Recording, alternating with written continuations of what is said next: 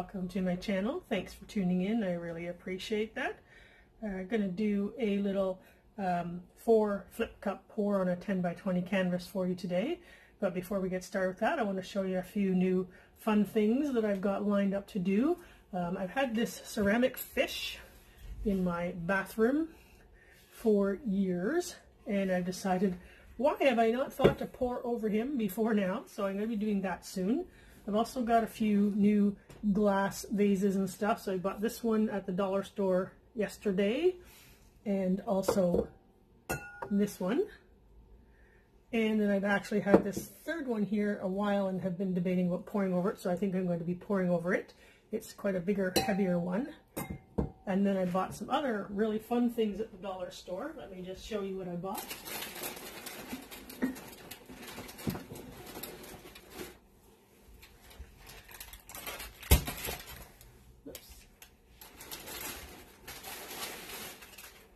I decided that I think one of probably the top three of my favorite things to do are to pour over things.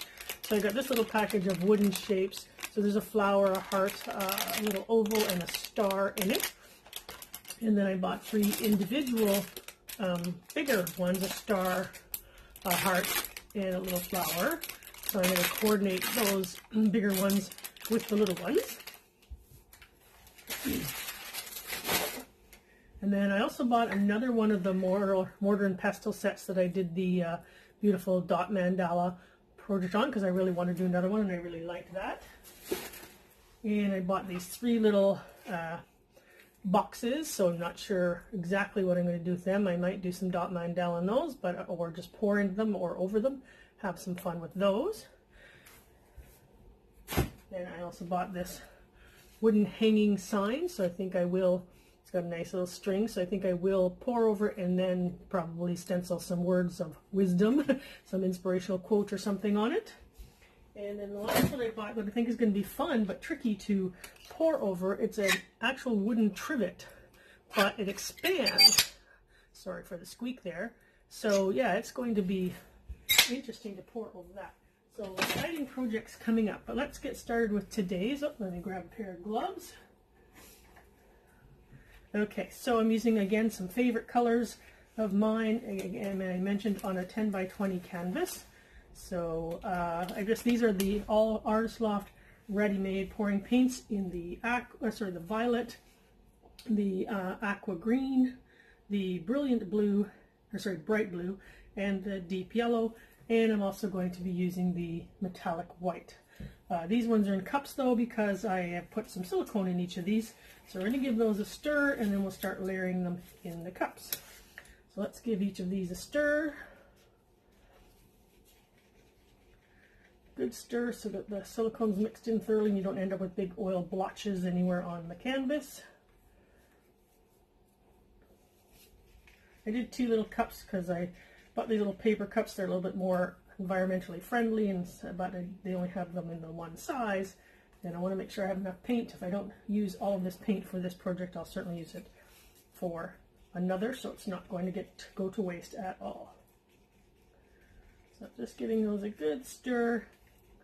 I hope everyone is still doing fine. I am lots of provinces, states, countries are starting to open up again, which I think it's good and I think it's time as long as we are doing it carefully, which everyone seems to be, all the governments seem to be doing that. So that makes me happy. Uh, the other thing, so that means there's potential actually for me. I work in an optometry office, a clinic. Uh, so there's a potential, I'm hoping by either the middle of this month, middle of May, or end of May, that I might be back to work. So we'll see. Fingers crossed. At the same time, I'm a little bit nervous about it, but we'll see.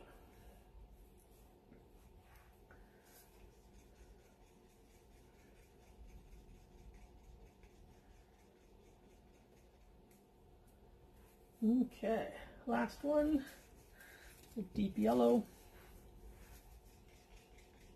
My next project that I won't be filming, of course, is uh, I've been emptying, using up paints that I had mixed a while ago, and so I've been using them out of my squeeze bottles so that I can get them emptied and redo the squeeze bottles, um, re, uh, refill the squeeze bottles with, you know, paint and Floetrol water mixtures. Um, I'm getting low on Floetrol, but I did buy some Artist Loft pouring medium, so I'll use that for the first time, see how that works out. Okay, so those are all given a stir. Let's move the painting down into your view. I've got four cups here. I'm not going to be filling them all the way up, but probably about halfway. So I'm going to put them really close together though, so that I can just kind of move from one to the other, not worry about drips. And I'll spread them out a bit. And I'm going to do a flip and drag on these because I think I've only done that once or twice and it's quite a nice, nice uh, effect. So we'll start off with some white.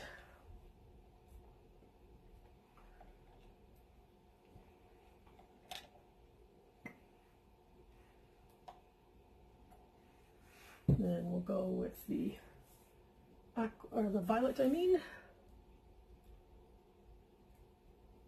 Hoping to get about three layers out of each color which is why I did the two cups. So let's not waste any. We can always do more. That is the good thing about the ready mixed paints is they're always ready. You don't have to mix up extra containers of them or anything like that. Um, now you do have to do something like I did where I'm um, separate poured them out into little cups so that I could uh, put the silicone in them. But uh, other than that, you don't have to do anything with them, and you only have to do the silicone, of course, if you want to achieve some cells. All right, let's do the aqua green now.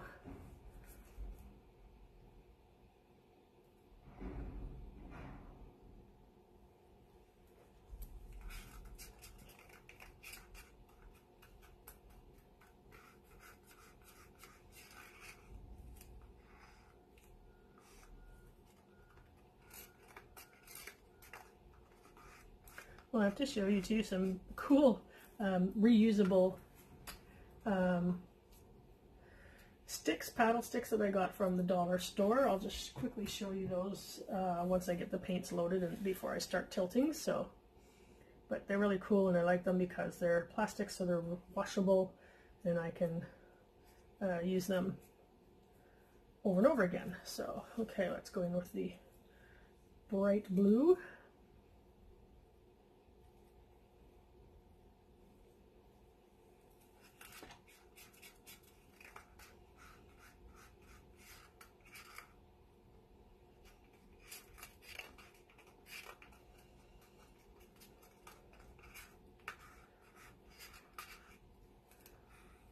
I have used my popsicle sticks more than once too, um, but I think these other plastic sticks will be a little bit more environmentally friendly. Okay, last but not least, oh, sorry, one more, almost forgot to put the blue in this one. Okay, not worried about the drips I'm making because it's all going to get covered by paint anyways. Okay, let's go for the deep yellow.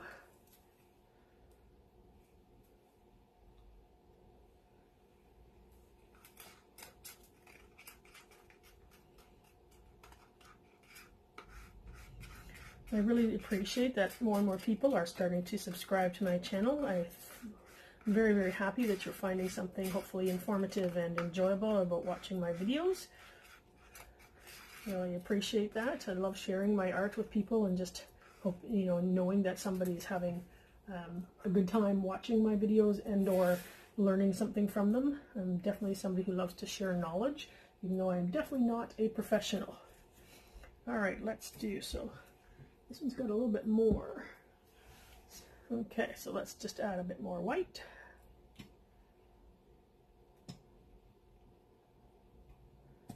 Just gonna add a bit to that one. Not as much.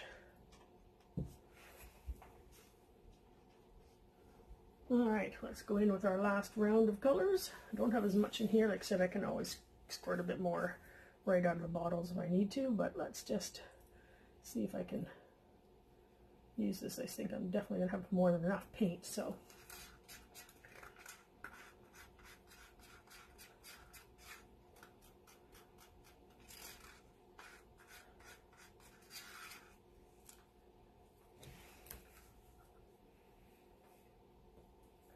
Okay, next we have the aqua green.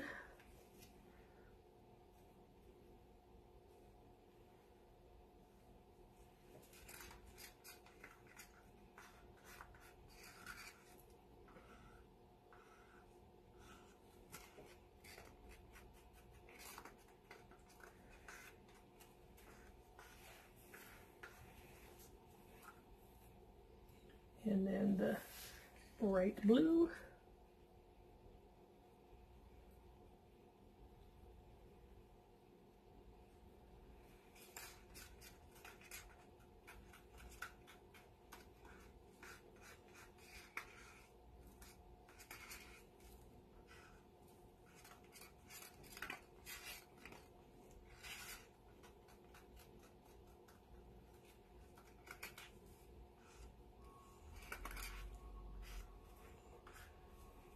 Okay, and last but not least, the deep yellow.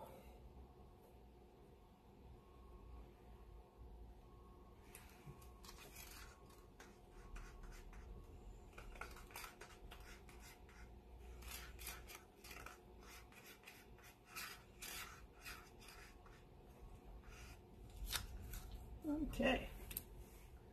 Gloves are getting sticky. I do try and reuse my gloves lately too more than I used to because they are getting scarce. When I was at the dollar store the other day, I couldn't get any more. Now let's see here. I'm just going to add just a little bit more white.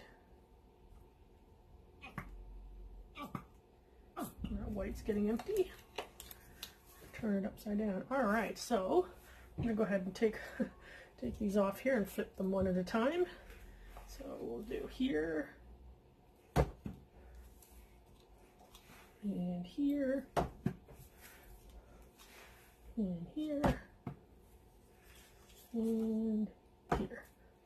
Ooh, almost missed with that one, but that's good.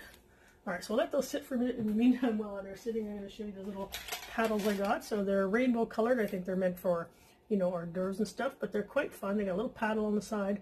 They actually have a little groove in them. I don't there. You can see it there if I kind of flash it, which kind of gives them a little bit of a curvature so that you can really scrape things with them. But I think there were like 40 of them for like a dollar, a dollar 25, so that's pretty cool.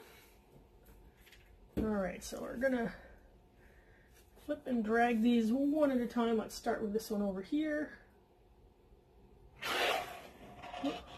Went off the end there, wasn't quite intending to do that, but that's all right. We'll pick some of that up and put it on the corners. Okay, next one.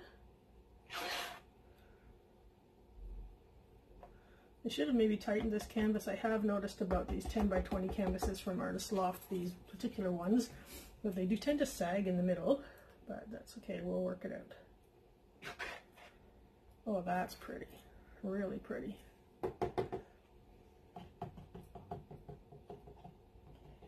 Just putting some paint along there so it'll make it easy for it to pour. And last one. Okay. Again, just went off the edge a bit. That's okay. There we go. Look at that. Look at the cells coming up already, and I haven't even done anything to it yet. This is going to be fun. Now, let me just see. I had a piece of cardboard here I was saving to use as a corner catcher. Let me just grab it.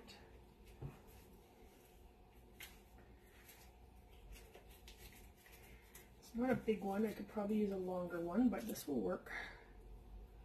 Let's see here. All right. So I think I'm going to um, do this end first so that since it's closest to being covered, and then we can start, well, um, torch a little and then start moving towards the scent. Because I've already got magnificent cells coming up here. So we're just going walk it down, as Julie Cuts from Pouring Your Heart Out likes to say. Walk it, walk it, walk it. So that you stretch out your cells, but don't lose their roundness too much. All right, well that one went over the corner over there on its own. There we go. Look at that. Wow. All right, I'm just going to turn this around, hopefully without dripping any on my floor. It's hanging over the hinge of my table. There we go. Look at that. I don't even think I need to torch this. This is magnificent looking, but we'll give it a little torch, not too much, just to see what else we can bring up. Plus it helps get rid of the air bubbles. Because all those paints were just shaken up before I started the video. So, alright, so let's continue walking our paints back and forth. Get them to cover up those other corners.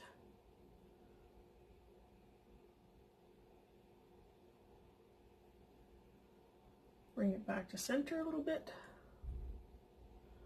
I don't want to move all this, lose all this purple here because I love it. Purple is my favorite color. If you've been watching any of my videos, you probably know that by now.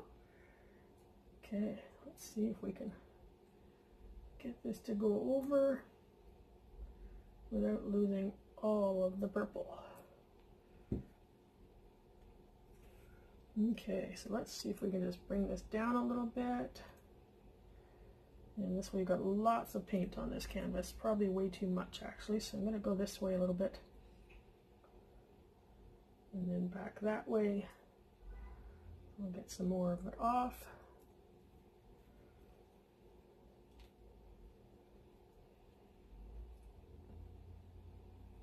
Wow, this is looking beautiful. Loving this. Such bright colors and such awesome cells. I'm Just going to tilt it this way a little bit.